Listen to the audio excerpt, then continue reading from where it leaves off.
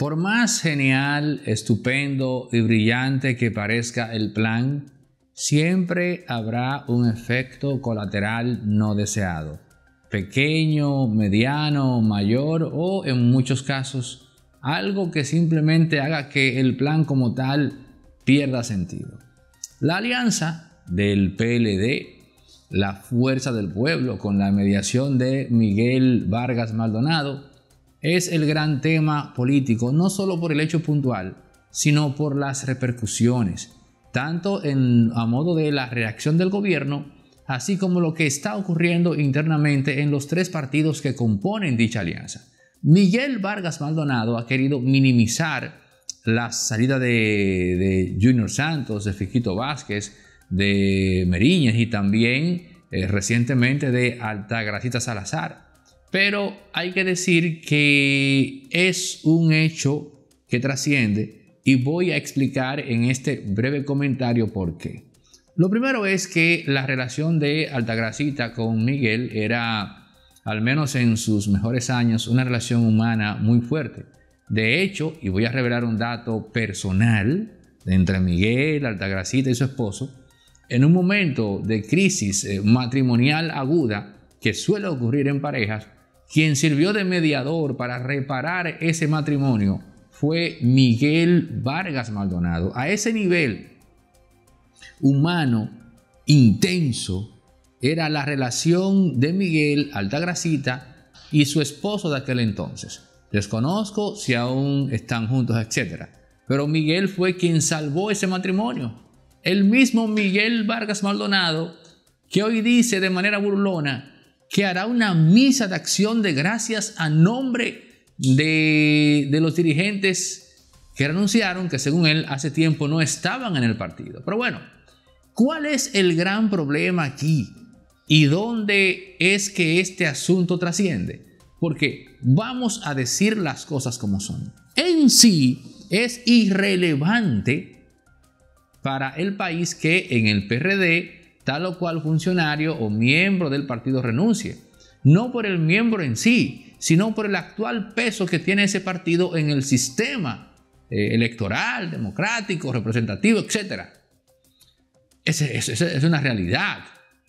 Pero, pero el hecho como tal está encontrando eco en el PLD y en la fuerza del pueblo. Y si a eso usted le suma un gobierno que ya ha dejado claro que no tiene problemas, mire para acá, mire esto, que no tiene problemas para billetear, ¿qué tenemos ahí? Tenemos un conflicto entonces creado en el seno de la propia alianza opositora.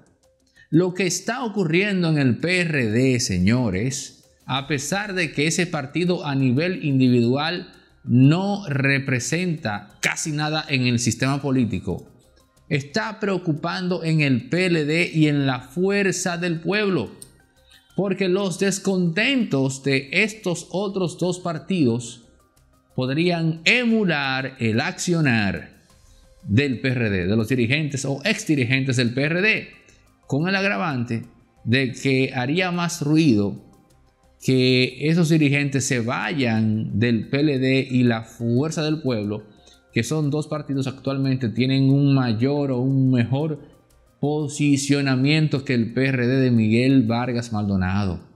Tanto al PLD como a los fuercistas, el gobierno no le caería nada mal asimilar unos cuantos dirigentes que estén descontentos. ¿Y por qué? Porque si esto se da, el mensaje sería demoledor de cara a la alianza. ¿Por qué? Bueno, porque lo que queda es que esa alianza no ha servido para sellar la fe y la esperanza en el triunfo. ¿Qué alianza puede venderse como una alianza victoriosa cuando después de la misma de los principales componentes de dicho acuerdo están emigrando gente? Eso es algo que el gobierno quiere. Eso es algo que el gobierno desea y tienen con qué hacerlo posible. Oigan bien lo que he dicho. Y tienen con qué hacerlo posible. Hay preocupación en el PLD. Hay preocupación en la fuerza del pueblo. Descontentos. Bueno, ahí se está hablando, por ejemplo, de Rafael Paz. Yo no creo que él se marche de la fuerza del pueblo. Descontentos. Bueno, precisamente en el propio PLD también hay descontentos. Nombres sonoros, nombres de gente que venía subiendo. En fin. O sea que aquí lo que tenemos es un plan que ha comenzado a desencadenar situaciones que ni Miguel, que ni Leonel, ni Danilo esperaban. Porque aquí hay un componente humano. El componente humano del compañero que tiene años esperando su turno al bate. Y que cuando creía que iba a entrar en la caja de bateo, le dicen, espérese que usted no va. Usted no va, que aguante, aguante, aguante un juego más. Aguante nueve innings más, pero usted no sabe cuánto van a durar esos nueve innings. Usted no sabe si su momento era ahora. Es un asunto humano muy delicado. Y ya estamos viendo lo que dije en aquel entonces. Una alianza no es un cuento de hadas. Hay que ver cómo los sacrificados se van a comportar hay que ver cómo el gobierno va a capitalizar eso. Y ya lo estamos comenzando a presenciar. Esto comenzó en el PRD, pero esto no se va a quedar en el PRD. Dele unos cuantos días y ya usted verá.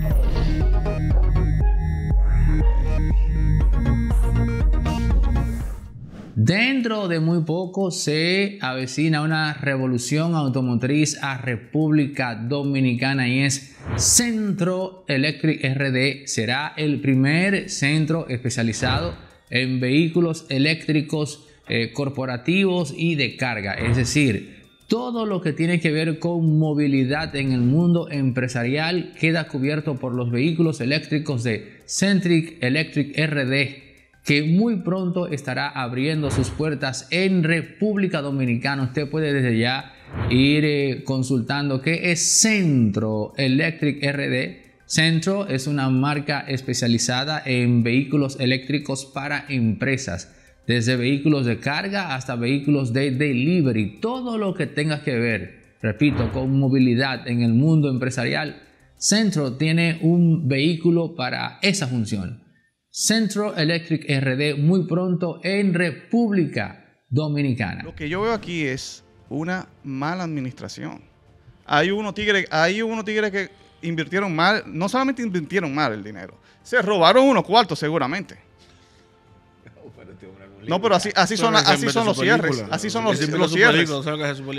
no, ninguna franquicia va a cerrar todas las, todas las tiendas de un solo golpe. Aquí se han dado casos de Pollo Rey, por ejemplo, Pollo Rey tenía como seis sucursales aquí en la capital. Y empezaron por una crisis y por mala administración de ellos. ¿Y qué empezaron? Bueno, empezaron a cerrar una por una, a ver lo que podían salvar. Y se quedaron abiertas las que pudieron salvar.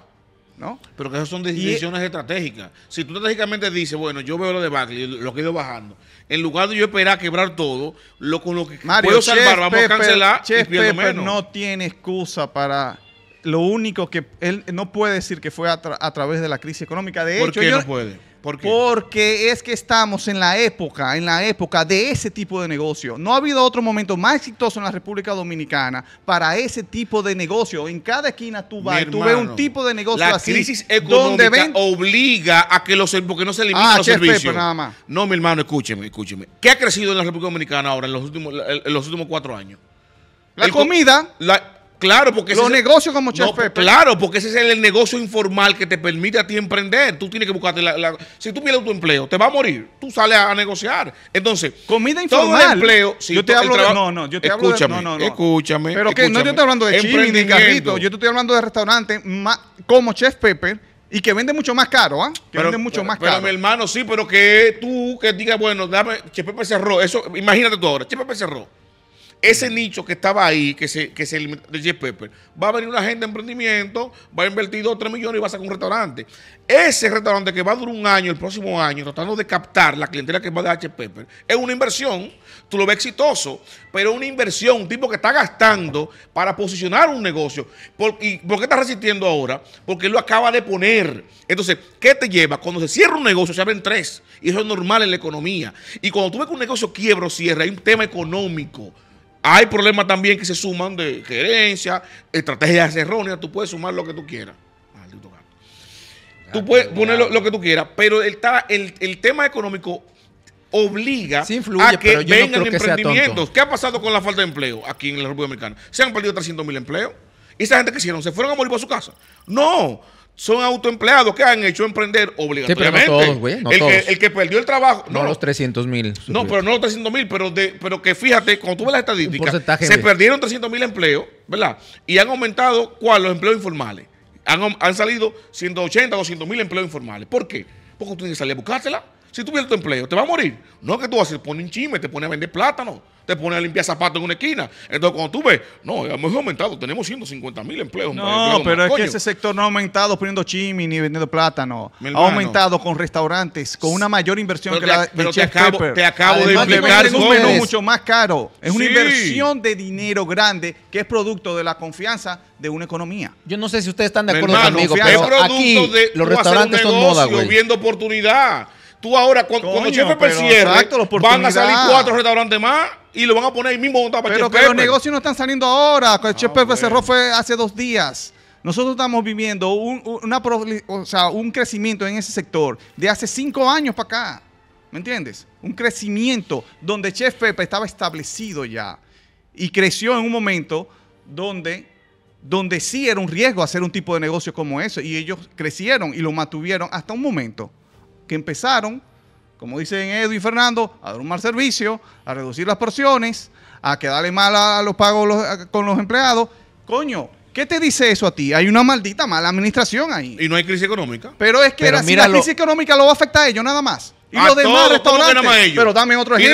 Y nada, más, otro ejemplo, nada más ellos que han cerrado. Oye, dame otro ejemplo de otra franquicia como Chef Pepe que haya cerrado en los últimos cinco años. Dámelo.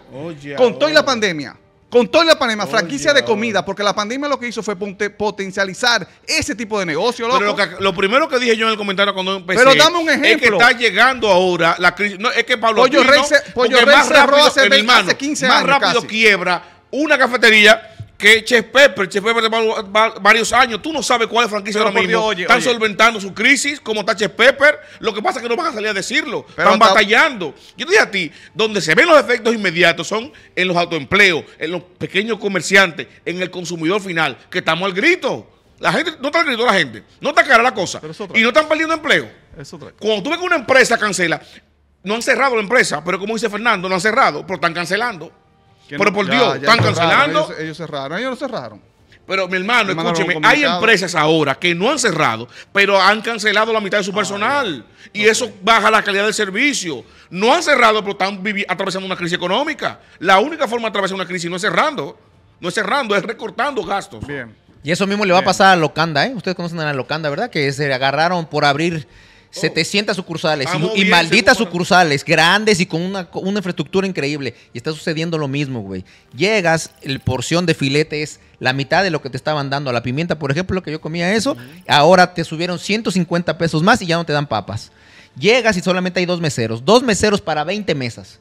Así que tengan cuidado con esa franquicia también. Y eso, no es. Eso es producto ahora, sí. Ahora porque eso está pasando ahora. Bueno, señores, esto es la quinta pata. Mario Herrera, José Maracayo, Fernando González. Y el gato de Aneudi. El gato de Aneudi que no tiene harto. Simba. Edwin Cruz. Y recuerden suscribirse, darle like, activar campanita, eh, escuchar a Leonor que está por ahí afuera también. Y comentar y todo eso.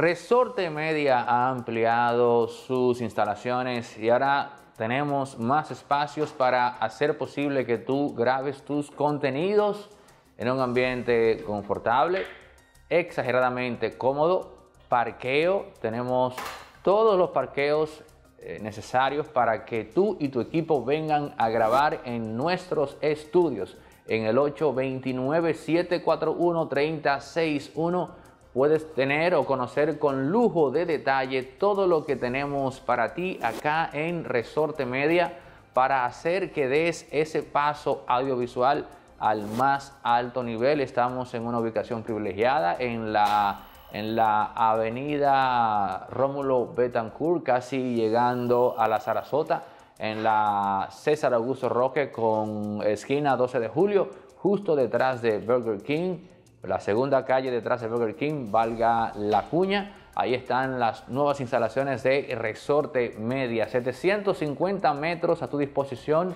con una gran variedad de, de locaciones para tú hacer realidad tu sueño fílmico. Contáctanos en el 829-741-3061 y vamos allá. Los planes más competitivos en términos económicos del mercado para que grabes con calidad 1A al más alto nivel.